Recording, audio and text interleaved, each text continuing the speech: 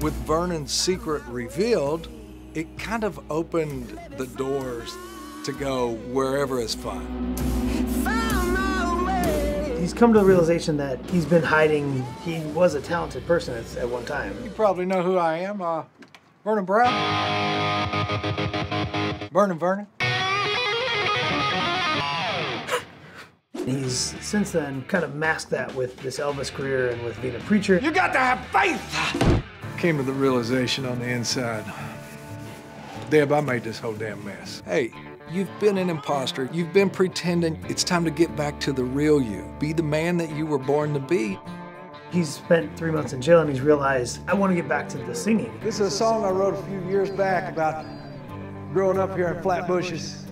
I hope y'all like it. He makes an effort to start building his career back up. Hey, I'm getting a band back together tonight for a gig in Nashville, and of course, you were the first one I called.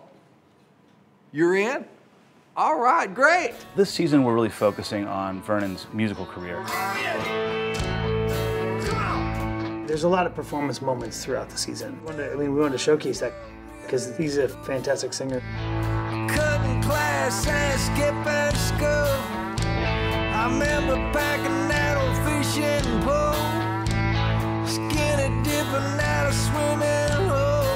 He's really trying to find some balance in his life, So then I got out of jail. I moved back in with Debbie and Charlotte, dealing with having a, a young family he didn't know about, and everything was great. and the potential of having another child on the way, And the other baby daddy came back from the dead, and everything kind of went downhill from there. and also uh, trying to stay true to his roots and who he was as an artist. You gotta put some of this heartbreak into a love song. Last year, Vernon found out he had a daughter. Say what?